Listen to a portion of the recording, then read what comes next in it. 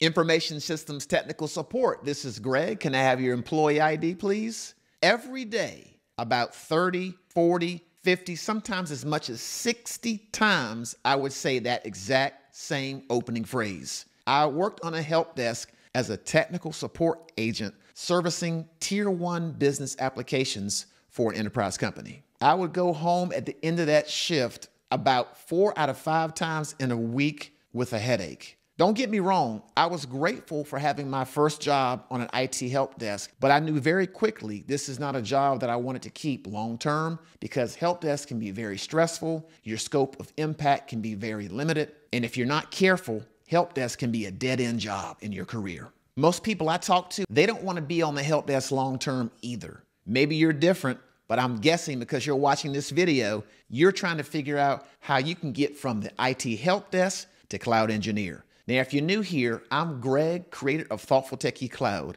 And on this YouTube channel, every week I release a video to help you navigate your AWS cloud and tech journey. If you haven't already, make sure you go ahead and subscribe right now. You don't have time to waste making mistakes when you can learn from somebody that's already gone down the road you're trying to get down. Now, congratulations for you because you've already made it to an IT help desk. But what you have to do now is what I call a self assessment. Where are you in your journey? Because there's different levels of help desk. There's tier one, tier two, and tier three. Now, this video is geared more towards that tier one type help desk. So, what skills are you bringing into the table? Everybody's journey is different. So, obviously, the more skills you're bringing to the table, your journey to get the cloud engineer is going to be a little bit more efficient versus if you have limited to no technical skills. And this would be on an IT help desk where you're reading from scripts and you're really relying heavily on a knowledge base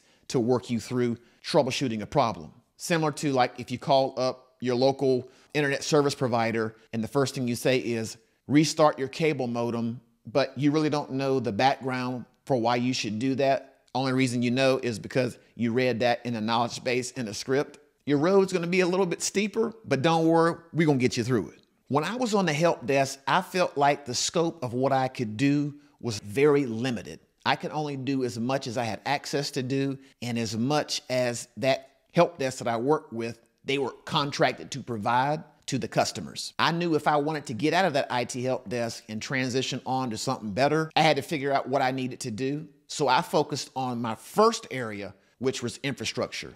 I made it a big part to learn about computers and networking, database, and storage to start. Now, there's a few certifications that you could focus on. And for me, it's less about you going out here and getting these certifications, and it's more so just being able to have this level of knowledge. I'm not stopping you from going out here and getting this full on certification. By all means, go for it. But like at the very least, read through these books and know the equivalent knowledge so you can build on top of that. Now, if you're on the help desk, you might already have the CompTIA A+. plus. If you do, this is great. For those of you that might not know, CompTIA A Plus is a vendor neutral certification that's going to focus on computers and operating systems, a little bit about virtualization and cloud, security. It touches on a lot of the IT fundamentals. Not only is this helpful for your current help desk job? But this is going to give you fundamentals that you can take into your role as a cloud engineer because guess what? They're called fundamentals for a reason because they never really go away. You can build on top of these to learn more advanced skills. Even though CompTIA A Plus has a little bit on virtualization and networking, your problems that you're solving are more limited to the computer or the host system. When you get into cloud, you're going to be building architectures that are distributed. So you're not just going to be dealing with one or two computers. You could be dealing with dozens or maybe even hundreds of servers that are connecting and talking, and you have to be able to understand best practices. So another certification that I recommend you take a look at is the CompTIA Network Plus. One of my favorite things I learned in the CompTIA Network Plus was the OSI seven layer model which to this day is still to benefit you as a cloud engineer. And I also like the CompTIA Network Plus because it's to help you think well beyond just a host computer and start thinking about how multiple computers talk, going through protocols like TCP IP, firewalls, routing and switching, and it really builds nicely on top of that CompTIA level A plus knowledge. The third fundamental IT certification that I wanted to cover is CompTIA Security Plus. You can't do anything in the cloud without understanding security. So when you bring that deep security level knowledge into your role as a cloud engineer, this is just gonna help you out big time. So let me quickly recap what we've talked about so far so we can keep track. You want to go into your cloud engineering role having a great understanding of infrastructure and security. So, for infrastructure, compute, network, database, and storage, and then, of course, security. I've provided three certifications that you can take a look at. And again, you don't have to go crazy and go out here and get all these certifications, but at least go out here and grab you the corresponding book and start reading through this and studying it so you can build on top of these fundamental IT concepts. Now, let's fast forward to when you've built those fundamental IT skills in infrastructure and security.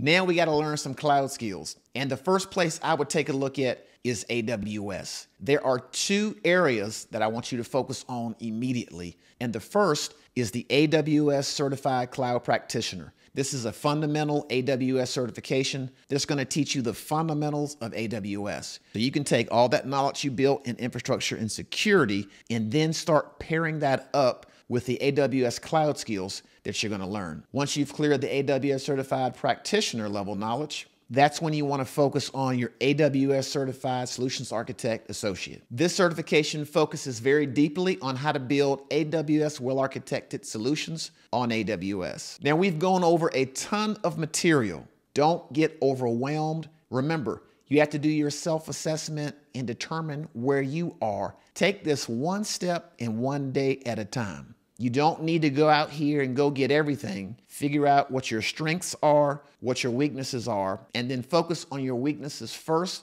to make sure you can beef up in those areas. And please don't hesitate to drop me a comment down below and ask any questions you may have. And before you go, make sure you take a look at this video right here where I go even deeper into cloud engineering. Hope you found this video helpful. Thank you for subscribing and I'll see you in the next video.